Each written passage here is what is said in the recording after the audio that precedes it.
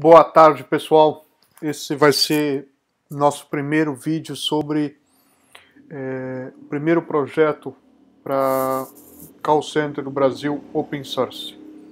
Ok? Essa é a versão já 3. Já tinha, teve uma versão 1 e 2, mas eram especificamente de alguns clientes é, de alguns call centers em Florianópolis, na Argentina, e Porto Alegre, também temos um call center utilizando na versão 1 e 2, e na versão 3 a gente resolveu publicar o código gratuito.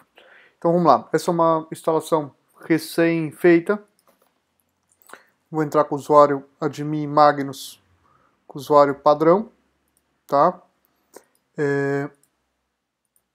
Já recomendamos vir aqui, a primeira coisa que fazer é trocar essa senha, tá? Trocar essa senha do administrador. Agora, nós podemos já criar um operador aqui. Eu vou criar um operador aqui, mil, por exemplo, mil, uma senha, vou botar o meu nome. É, eu não vou me detalhar neste momento em todos os campos, tá? Porque esse vídeo é mais ou menos um como começar, tá? Botar funcionar só para ver que, ele, que o sistema funciona, ok? É, isso aqui, matrícula no, de recursos humanos, é a matrícula do funcionário, que são todos dados do, do funcionário. É, salvo. Aqui eu não coloco uma campanha ainda porque eu ainda não criei uma campanha. Tá? Agora eu já vou. Vamos criar nosso tronco. Tá? Primeiro lugar. Vamos criar um tronco aqui. Ó, eu vou chamar de tronco é, provedor teste. Agora vou criar o nosso tronco. Tá? Nosso tronco é para onde a gente vai enviar as chamadas. Eu vou chamar ele de Magnus aqui. Ó. Vou botar um IP de um servidor de um servidor que eu tenho aqui com um asterisco comum, tá? É, agora nós vamos verificar, melhor, esse IP aqui, esse, esse tronco que eu coloquei é autenticado por IP, né? Portanto, não precisa verificar nada. Agora nós vamos criar uma campanha. Melhor, vamos, antes da campanha vamos criar uma agenda. Tá? Agenda. Vou botar aqui nome teste e vou dizer que essa campanha vai utilizar o tronco Magnus. Essas outras opções aqui nós vamos fazer um vídeo específico mais à frente, especificando cada uma delas. Não vamos utilizar portabilidade. Agora vamos criar uma campanha. É, nome vamos colocar aqui campanha teste. É, horário de turnos de manhã e de tarde vou deixar tudo assim, tudo ok. Aqui eu já posso selecionar a nossa, a nossa agenda teste. Tá? E salvo. Aqui agora eu já posso mostrar para vocês uns detalhezinhos aqui sobre, por exemplo, permissões. Isso aqui são campos, você vê campos pré-determinados que você pode selecionar sim ou não. O que quer dizer isso? Olha aqui, ó. Se eu botar aqui ó, e-mail 2, 3, botar tudo não, esses dados aqui não, apare não vão aparecer para o operador na hora que ele vai recolher, captar os dados do, da pessoa que ele está falando. Tá? Eu vou botar tudo não, só para vocês verem. Tá? Botei tudo não. Tá? Agora eu vou lá naquele operador e digo que ele vai poder trabalhar nessa campanha teste que eu criei, salvo, saio do sistema e vou logar como operador, só para vocês verem, tá?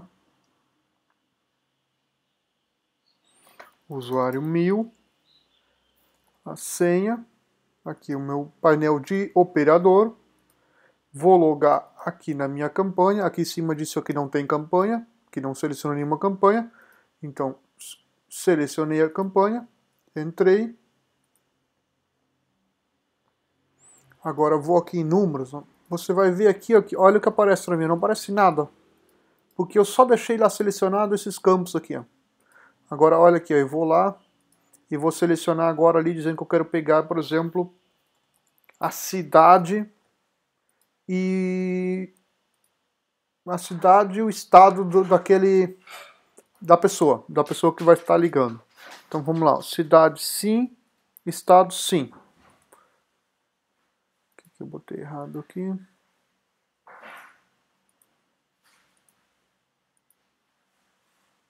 Vou voltar lá no operador.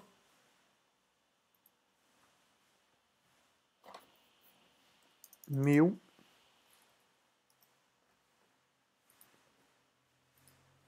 Olha lá como já aparece. Então, assim você consegue colocar somente os campos que você quer que o, que o seu operador é, pegue do, do, do, da pessoa que ele está que ele está ligando, tá?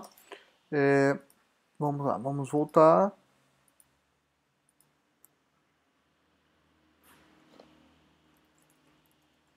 Agora eu vou Vamos lá ver o que, que falta. Ah, agora eu preciso colocar números nessa campanha. Tá? Eu vou abrir aqui em outro navegador, no Chrome aqui. Vamos pegar esses dados aqui. Eu vou logar aqui no Chrome, no painel de operador, tá? Para nós ficar com os dois abertos. Mil Magnus. Ok.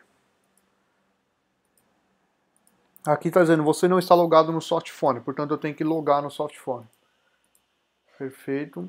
Vamos logar no softphone. Opa, estou fazendo outra janela aqui. Ó. Usuário 1000.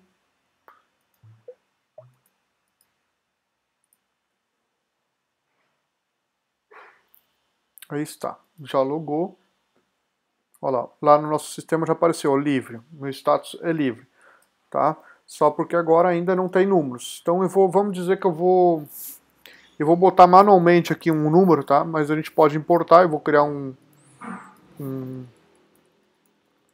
um, um vídeo específico como como importar os números. É, 2, 4, 6, 4, 7, 31, tá? Vou colocar meu nome aqui também. Se eu deixar a campanha como a gente criou aqui, essa campanha é uma campanha manual. Ó, o operador dá um atualizar, pega um número lá, um número na agenda. Detalhe, se o operador nesse momento fechar, esse, fechar e abrir de novo, ó, volta sempre esse número para ele. Até ele qualificar, até ele categorizar esse número para alguma outra categoria que não seja ativo. Tá? Essa seria uma, uma, uma forma de campanha manual. Tá? Então ele criou lá, ele só clica aqui em ligar Nesse momento teria